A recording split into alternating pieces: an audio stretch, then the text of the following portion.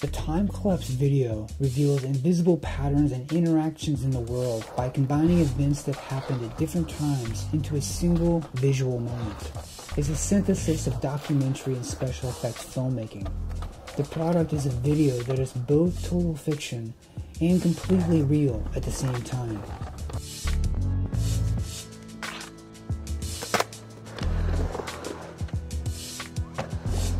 You could just turn and do a grind or something.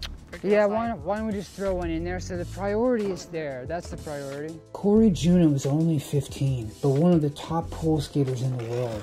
He's professional beyond his years, and it's astonishing to see what he can do on a skateboard.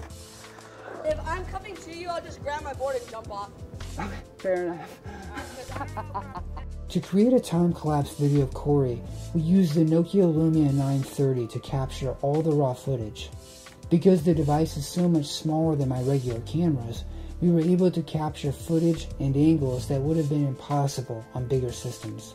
Microsoft OneDrive allowed us to instantly organize, upload, and share all of the elements with each other. This made collaborating easy.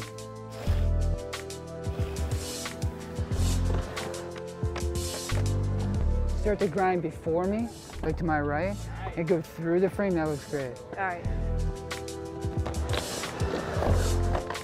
There, that's it. That's it. That's perfect. That's killer. Yes! Cory's an amazing talent to watch, and it was incredible to be down in the bowl shooting with him.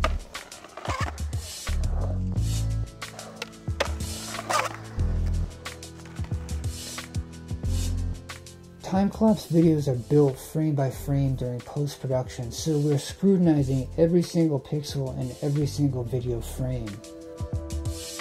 It was extremely time consuming to build each scene for the video. Every shot of Cory had to be manually separated from its background, then grouped together with the other passes.